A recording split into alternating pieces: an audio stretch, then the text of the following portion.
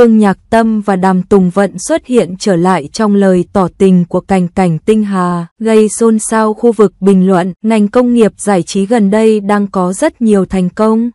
Vương Nhạc Tâm và Đàm Tùng Vận lại hợp tác, nó giống như quay ngược thời gian, khiến vô số trái tim người hâm mộ đập nhanh hơn.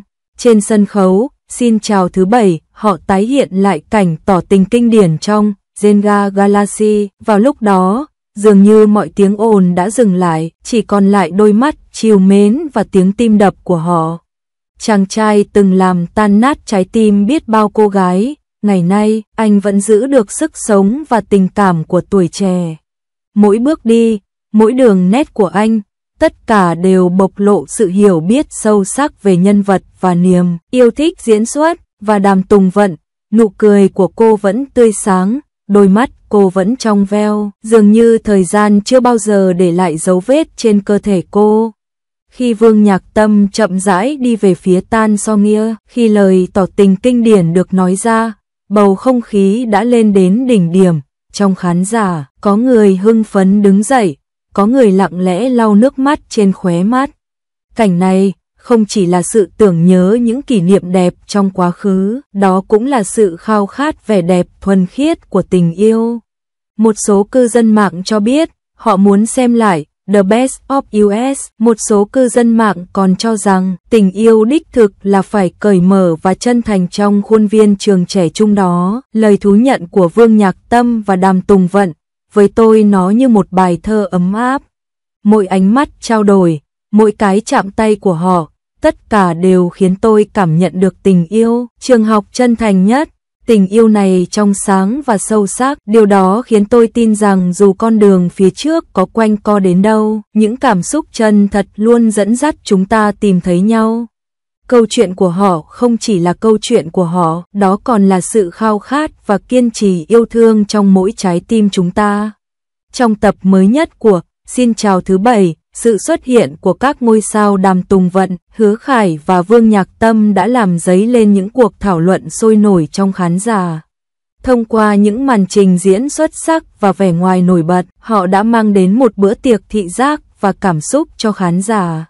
Trong số đó, Đàm Tùng Vận và Hứa Khải đã hợp tác quảng bá cho bộ phim truyền hình mới Em Đẹp hơn ánh sao. Sự tương tác thân mật giữa cả hai khiến người ta có cảm giác như họ đang ở trong một câu chuyện tình lãng mạn. Cùng lúc đó, Vương Nhạc Tâm và Đàm Tùng Vận một lần nữa xuất hiện chung khung hình, khiến khán giả bỏ lỡ những vai diễn kinh điển của họ trong The Best of US.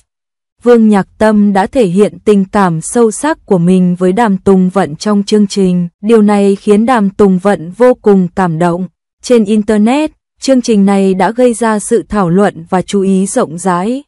Khán giả bày tỏ rằng sự tương tác mật thiết giữa Đàm Tùng Vận và Hứa Khải cũng như sự tái hợp giữa Vương Nhạc Tâm và Đàm Tùng Vận khiến họ nhớ đến những tác phẩm kinh điển trong quá khứ và truyền cảm hứng cộng hưởng cảm xúc mạnh mẽ.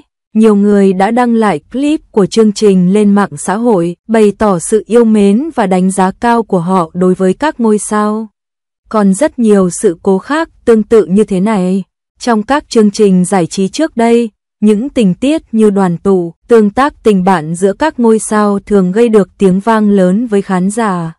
Ví dụ, trong một lần tham gia chương trình, Jun, Brother, cựu ngôi sao Nhí Lâm Canh Tân và Trần Vĩ Đình đã hợp tác cùng nhau, khiến nhiều người hâm mộ vừa phấn khích vừa tràn đầy hoài niệm. Trong chương trình, Idol Produce, Dương Mịch và quản lý Thái Từ Khôn gặp lại nhau cũng làm dấy lên sự cuồng nhiệt.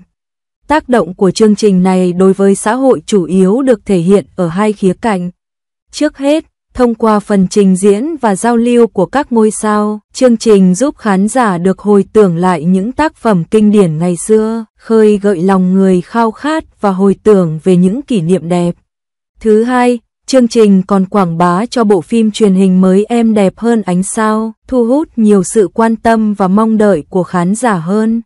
Việc sử dụng quyền lực ngôi sao để quảng bá loạt phim này không phải là hiếm trong làng giải trí, hiện tại vẫn chưa rõ liệu có bất kỳ cập nhật nào về tập phim này hay không nhưng điều có thể dự đoán là mức độ phổ biến của bộ phim chắc chắn sẽ tiếp tục trong thời gian ngắn và thậm chí có thể gây ra nhiều cuộc thảo luận hơn về sự tương tác của người nổi tiếng và đánh giá các tác phẩm kinh điển.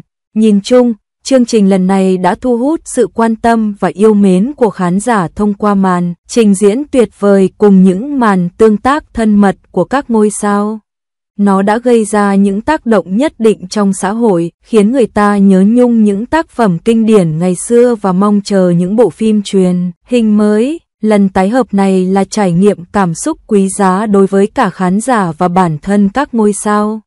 Đối với toàn bộ ngành giải trí, loại chương trình tương tác với người nổi tiếng này cũng là một phương thức quảng bá phổ biến. Trong tương lai, chúng tôi mong muốn có thêm nhiều chương trình tương tự sẽ cho phép chúng tôi nhớ lại những tác phẩm kinh điển trong quá khứ và mong chờ sự phấn khích trong tương lai. Vì vậy, chúng ta có thể tóm tắt khách quan như sau về tác động của chương trình này.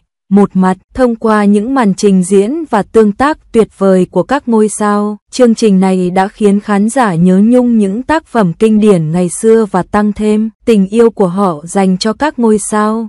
Mặt khác, việc quảng bá chương trình cũng đã thúc đẩy sự chú ý của bộ phim mới Em đẹp hơn ánh sao, thu hút nhiều sự kỳ vọng và kỳ vọng của khán giả. Cuộc hội ngộ này không chỉ là kỷ niệm khó quên trong lòng khán giả mà còn là nguồn động viên, khích lệ cho các ngôi sao. Ở cuối bài viết, bạn cũng có thể thêm câu hỏi thẩm vấn sau, sự tương tác giữa các ngôi sao và ký ức về nhân vật cổ điển có thể có tác động như thế nào đối với khán giả? Đối với bản thân ngôi sao, cảm giác thế nào khi được đứng chung một khung hình với các tác phẩm và vai diễn trong quá khứ? Phương pháp quảng bá bộ truyện thông qua sức mạnh ngôi sao này có thể tăng xếp hạng và danh tiếng của bộ truyện không? Liệu tình yêu và sự quan tâm của khán giả dành cho người nổi tiếng có giảm dần theo thời gian? Những vấn đề này đòi hỏi phải thăm dò và nghiên cứu thêm.